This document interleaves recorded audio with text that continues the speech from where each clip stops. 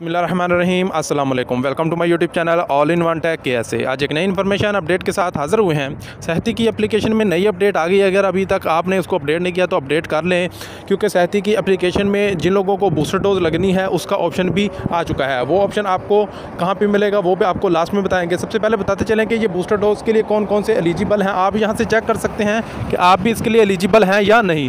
लेकिन अगर आपने पहली जो डोज़ है, उसको लगवाए छः महीने गुजर चुके थे और दूसरी डोज़ लगवाई थी तो फिर आप इस चीज़ के लिए एलिजिबल होंगे। फिर भी आप इसमें चेक कर सकते हैं। चेक करने के लिए आपने क्या करना है, सहती की जो एप्लीकेशन है, उसको ओपन करना है। जैसे ही सहती की जो एप्लीकेशन है, वो ओपन होगी, उसके बाद आपने कोविड नाइन्टीन वैक्सीन पर क्लिक करना है। तो जैसे कोविड नाइन्टीन वैक्सीन पर क्लिक करेंगे तो यहाँ पर आपकी पहली डोज़ भी लगी दिखाएगी, दूसरी भी, और नीचे लिखा है बूस्टर शॉट।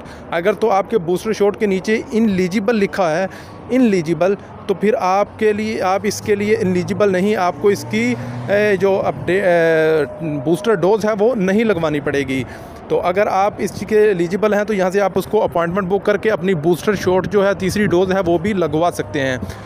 अगर आपके ये ऑप्शन नहीं आ रहा तो आपने पहले सहती को अपडेट करना है। अपडेट करने के बाद फिर यहाँ से देखना है। उम्मीद है कि सब भाइयों को इन्फॉर्मेशन की समझ आ गई होगी। तो इन जल्द ही नई इन्फॉर्मेशन, नई अपडेट के साथ हाजिर होते हैं। तब तक के लिए इजाज़त दीजिए। अल्लाह हाफ़